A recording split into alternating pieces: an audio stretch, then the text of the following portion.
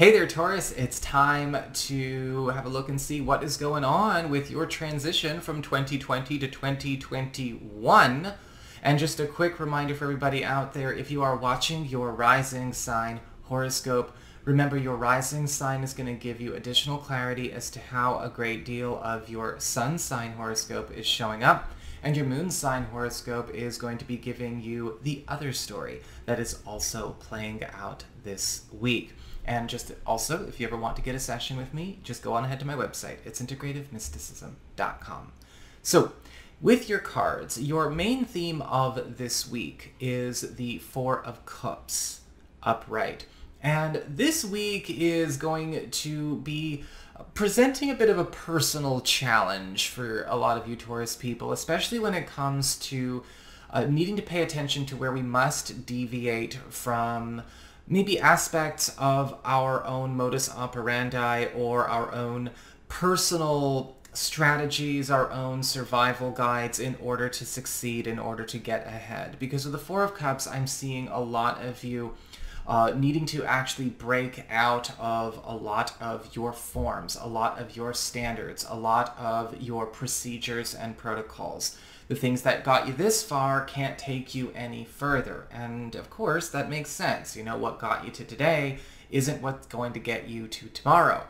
So, what we have with the Four of Cups is a breakthrough, however, or many little breakthroughs showing up that may actually defy what you have come to understand about what is standard or what is proper or what is going to serve. And we need to be able to Pay attention to where sometimes the small, the subtle, and the humble make the biggest chain reactions. We don't need things to constantly grab our attention with bells and whistles and sex appeal.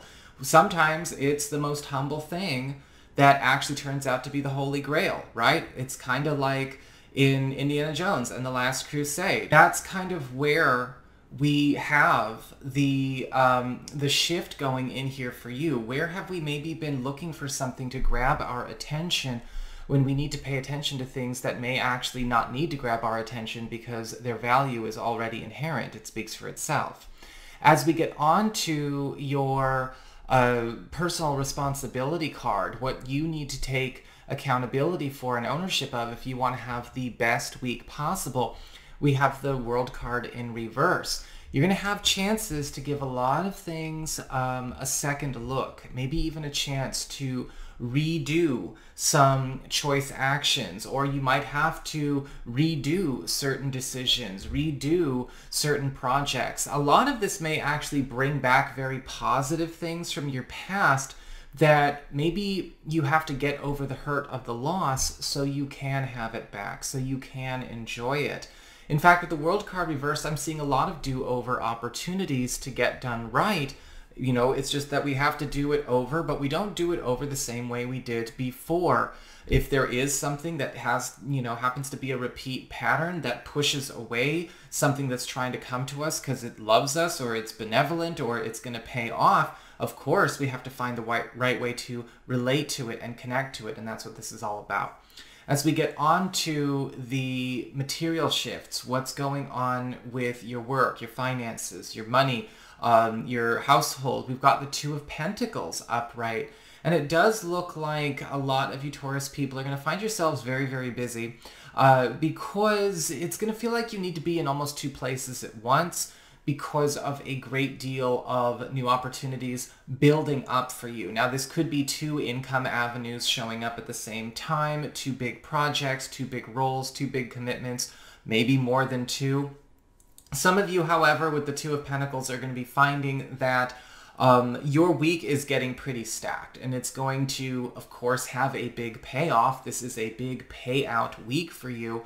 But for the sake of getting into a, a space where you're much more comfortable and feeling uh, that prosperity, the Two of Pentacles is also going to ask you to change what you are allowing yourself to have as your workload so that you can accommodate more.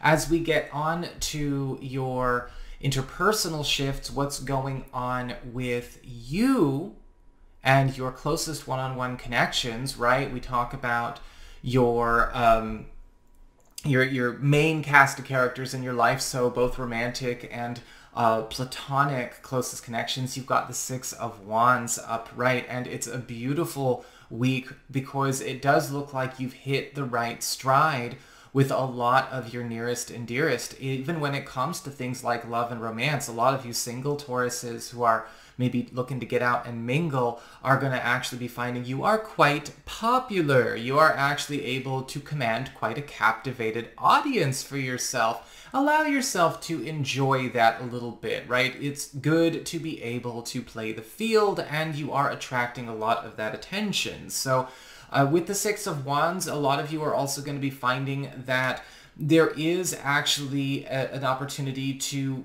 experience a sense of accomplishment through a partner or maybe even meet a, a, a, very accomplished partner potential this week as well. And for those of you curious about just friends and family, this is also redefining a relationship that you have with a friend or a family member into one where there is a big win for you that actually changes what becomes known about you know, not only the family itself or the friendship itself, it actually changes the course or the, I guess you could say, the lifelines of all involved uh, to the up and up. As we get on to your uh, personal shifts, what's happening with you, as far as what's transforming in you, you've got the King of Pentacles upright, and of course, it's a it's a Taurus card, right? King of Pentacles, that's Virgo, Taurus, Capricorn. You being Taurus here.